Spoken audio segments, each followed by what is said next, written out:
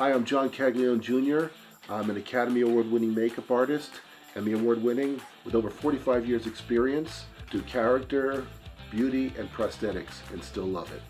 Over my 40 year career and still going, I've uh, started in television with the original cast of Saturday Night Live, putting on the Coneheads, working up to Quest for Fire, uh, did the makeup in Dick Tracy, won an Academy Award, and uh, last but not least, Heath Ledger as the Joker in The Dark Knight. Yeah, at the Makeup Artist Workshop, uh, you get me one on one or one on ten, and we do it through Zoom, and we cover every facet of makeup, beauty, character, prosthetics, and any other things you want to learn. I'm here for you. So I'm John Caglione Jr., and come on to the Makeup Artist Workshop. We offer everything that you need to know to be the best makeup artist, the most complete makeup artist you could be. So come on.